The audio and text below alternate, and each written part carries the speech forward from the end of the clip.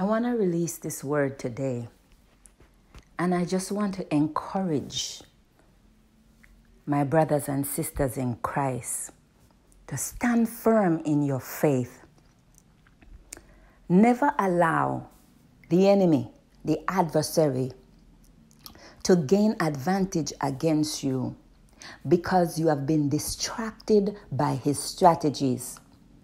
But fix and focus your eyes upon Jesus Christ, who is your Lord and Savior, who is your defender and your deliverer. No matter what may come, the Lord is faithful. And so today I am standing in the gap and I am even in prayer because the body of Christ must walk in power. We must know who we are in Christ Jesus because when we know who we are, then the enemy has no argument against us uh, because we can tell him uh, that we are the righteousness of God through Christ Jesus.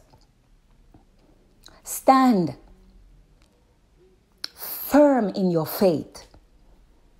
Do not be moved, but continue to pray Continue to stay in the Word of God. Continue to worship and continue to trust God because He will deliver. And no matter what may come, the Lord will provide. And no matter what may come, you will prosper and be in good health, even as your soul is prospering in the Lord. So stay with God.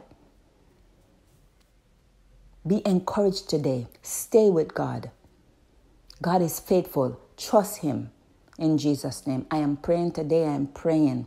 I am praying for us all. I am praying for the body of Christ. I am praying for my brothers and sisters that we will overcome one day if we just trust the Lord and stand in Jesus' name.